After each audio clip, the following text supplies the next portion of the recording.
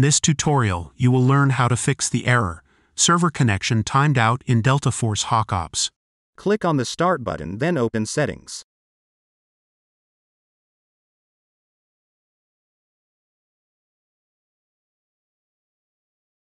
Go to the Network section. Look for Advanced Network Settings. Go down to Network Reset. This will remove and reinstall your network adapters and set all your network components back to their original settings. Press the button to reset your network. Press Yes. Restart your PC to apply the changes.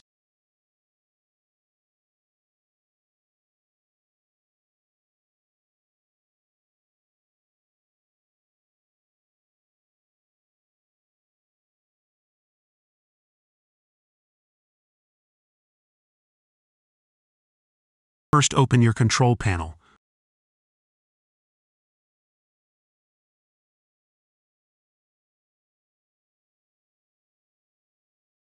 Open Network and Internet. Open Network and Sharing Center.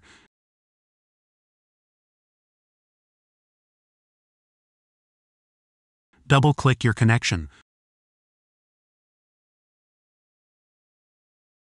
Open Properties. Select Internet Protocol version 4. Click on Properties. Select Use the following DNS server addresses in preferred server type 8888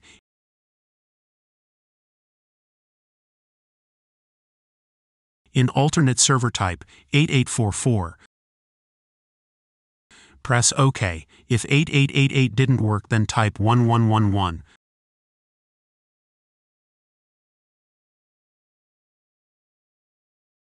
First open Start and type Device Manager. Open your Device Manager. Expand Network Adapters. Right-click your network adapter and select Properties.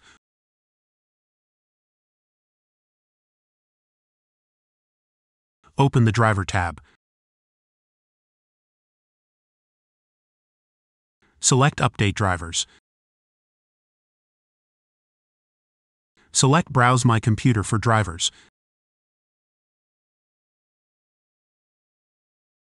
Select Let me pick from a list of available drivers on my computer. Select the driver for your network adapter. Press Next, Restart to apply the changes.